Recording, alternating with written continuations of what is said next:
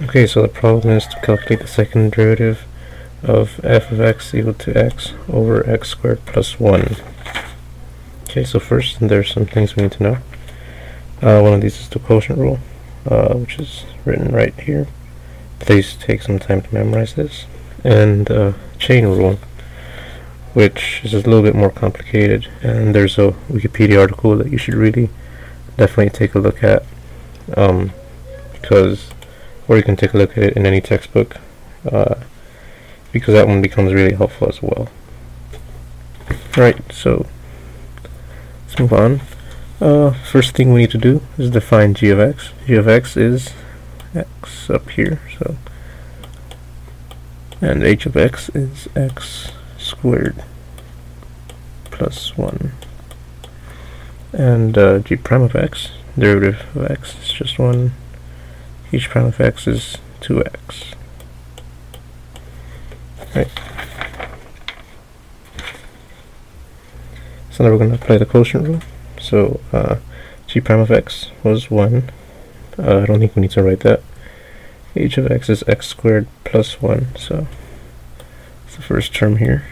X squared plus 1 minus g of x is x and uh, h prime of x is 2x so multiply 2x over h of x squared. And that is x squared plus 1 whole squared.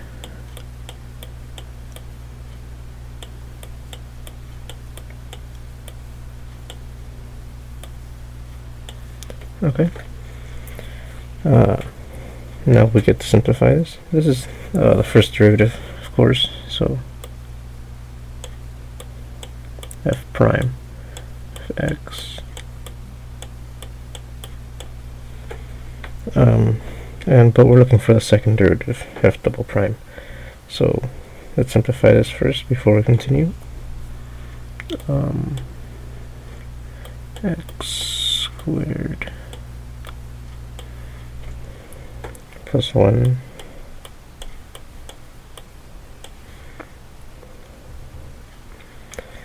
minus, I can combine the x's to get 2x squared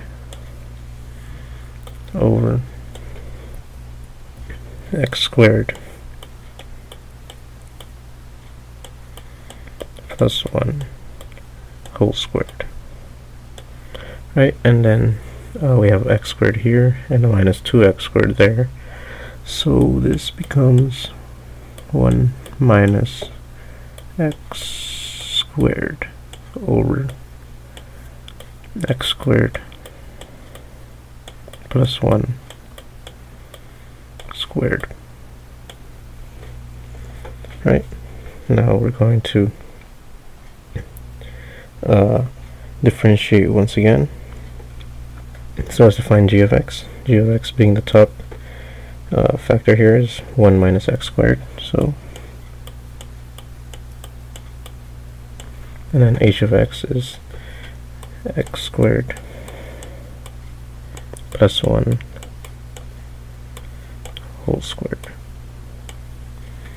And then g prime of x is minus 2x. And h prime of x is now using the chain rule. Excuse me. 2 times uh, x squared plus 1 and now we differentiate the inside times 2x right. Now we're going to apply the quotient rule once again uh, g prime of x is minus 2x.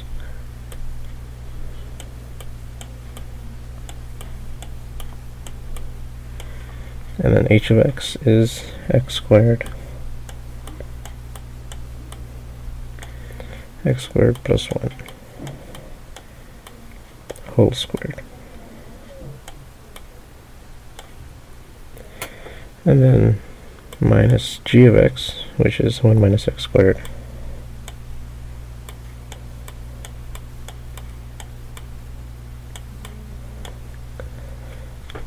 and then h prime of x is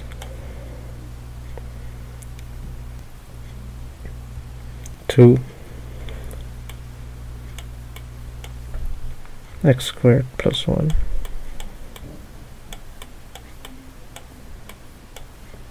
Two times x squared plus one times two x